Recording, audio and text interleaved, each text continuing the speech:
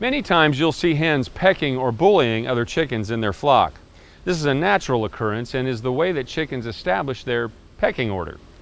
Pecking order is important within a flock because those higher in rank get more food and they get their choice of roosting spots in the coop.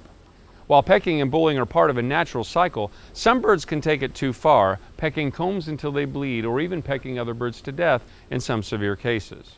If new birds are introduced or there are changes in location for your birds, you should watch them closely for a few days to make sure that they adjust and don't mistreat each other too drastically in the process.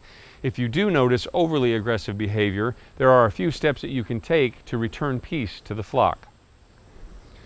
If one bird is taking the brunt of the abuse, you can try separating the bird in a cage that allows other birds to see the chicken but doesn't give them access to her. After a few days, you can allow the hen to rejoin the flock.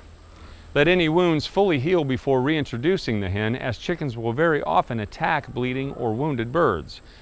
If other birds continue to harass the weak bird, repeat the process until they accept her into the flock. Another reason hens can become overly aggressive is when they become broody.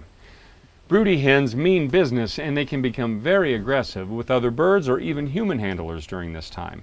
If you want to break a bird's broodiness to keep her from being so aggressive or sitting on eggs that are not fertilized, you can place the bird in a large cage with a wire mesh bottom.